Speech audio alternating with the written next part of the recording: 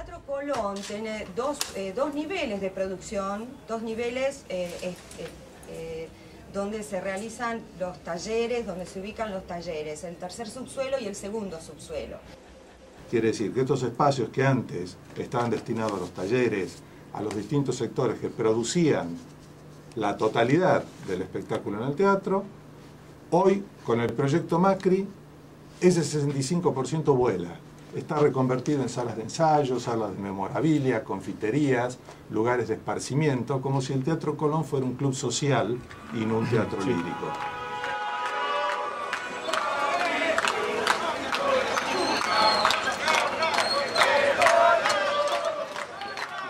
Entonces destruyen sin tener un previo, o sea, querer utilizar ese, ese espacio más de lo que el, espacio produce. Es un, es un, espacio limitado donde eh, transitan cuatro cuerpos estables, más un instituto. Es un centro cultural, es el centro cultural de arte más grande de Latinoamérica. Em, leí una carta de un arquitecto Fabio Grementieri, no sé si la leíste en el diario La eh. Nación. Decía que se está desnaturalizando el aspecto original de la sala, como asegura un hombre que sabe mucho, ¿no? Como el arquitecto. Eh, es obviamente que... Grementieri, ese es su apellido. ¿eh? Obviamente... no tengo la carta acá. Está totalmente... Sí, sí, la he leído. Ah, la has leído, bueno, sí, sí. está pues ignorante absolutamente de todo lo que está pasando un, proceso que echó por tierra, descartó totalmente las recomendaciones y todo lo preliminar que, se había, que habíamos hecho los argentinos con los italianos y se pusieron a diagramar un, proyecto que es completamente equivocado, que no parte de la base que es fundamental de preservar todos los valores fundamentales del teatro, la acústica, la decoración, la estructura, y yo, por ejemplo, ahora veo el centro vivencial que hizo este Mauricio Macri para el autobombo con nuestra plata de la restauración que se está haciendo, eh, los trabajos que se están haciendo, maravilloso. Y este, recién yo lo, lo que comentaba es que al teatro le están haciendo como un estiramiento facial.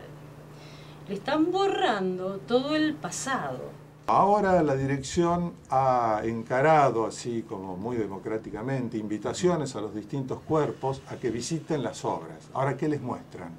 Les muestran el foyer, la sala y algo del escenario. Y punto. Abajo no se baja, no, arriba no se sube, porque eso no se puede ver.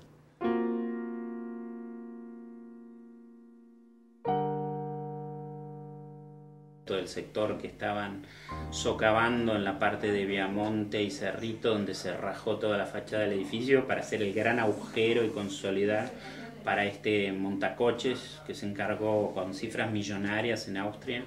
Sobre uno de los laterales de esta gran sala se está construyendo una nueva plataforma montacarga de importantes dimensiones que tendrá su acceso sobre la vereda de la calle Cerrito. Pero el grueso de la obra que, es, este, que tiene que ver con lo funcional del teatro, lo que tiene que ver con el espacio de producción, es lo que está siendo borrado del mapa para instalar eh, una funcionalidad distinta, que tiene que ver con el arribo de obras eh, o, de, o de producciones de escenas ya armadas para que ingresen directamente al escenario. Esta sala, de aproximadamente 12 metros por 18, de 8 metros de altura, sin columnas, Está ubicada en el corazón de la producción escenotécnica. Incorpora además un monoriel que va a permitir trasladar con facilidad las escenografías hacia el túnel de escenografía y al escenario. Porque quieren pasar, y eso es evidente, del modelo de producción a un modelo de importación de producciones eh, de ópera y de otros tipos de espectáculos, ¿no es cierto? Desdeñando y, y prescindiendo de toda la capacidad que tienen toda la, gente del Teatro Colón, ¿no? más allá de los artistas y los músicos, sino son los escenógrafos, los utileros, los que se encargan de escultura, de vestuario, de zapatería. Estamos tratando de restablecer el compromiso con el trabajo, la cultura del respeto de los horarios, del trabajo, de la tarea, de la profesionalidad, pero hoy ya creo que hay un ambiente de trabajo de sana alegría, de sano compromiso.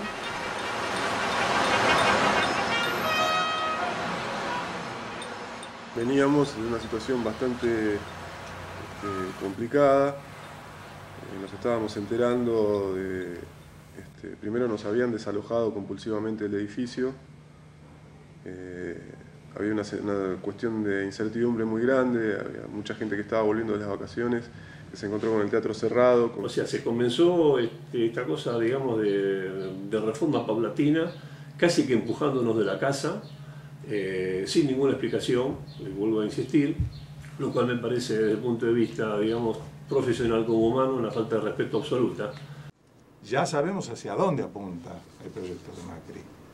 No a la producción propia, que era uno de los eh, elementos que definían el modelo de teatro. Nosotros siempre decimos, el Teatro Colón es un teatro oficial, público, de producción propia, con cuerpos estables y dedicado a la multiplicación del rédito social. Si nosotros sacamos el elemento este de la producción propia de esa ecuación, de esa definición, el resto peligra.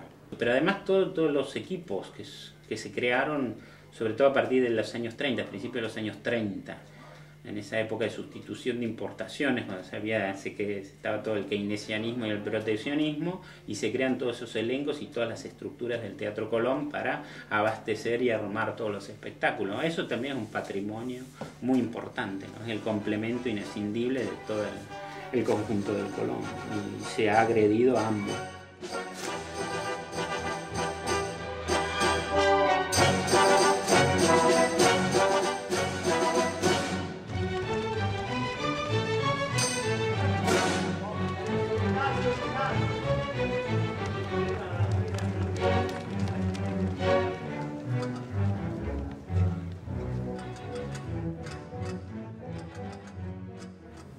Que se ve en el escenario es producto del trabajo eh, mancomunado de sectores técnicos, artísticos, administrativos, eh, de mayordomía, personal de archivo.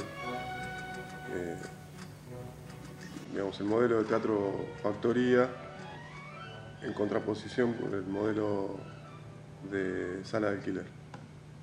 Entonces, no, echamos esa gente, elegimos los que, que tenían que quedar, y los que no tenían lugar, les dimos otra tarea. Si es un administrativo, vaya a trabajar, que faltan en los hospitales administrativos, vaya al administrativo. Si usted es electricista, vaya a, tal escuela que hace falta un electricista.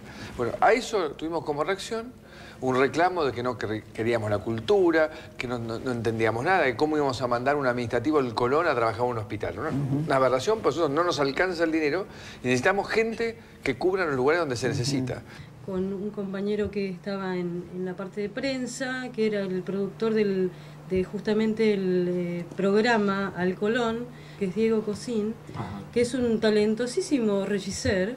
Eh, yo lo que digo es que este asunto de las transferencias, sí, muy bien, te están eh, asegurando el sueldo, pero también desplegás tus talentos, tus aptitudes, lo que has estudiado, y es lo que querés seguir haciendo. Si uno pone en salud a una persona que es director de teatro, va a hacer muy mal ese trabajo.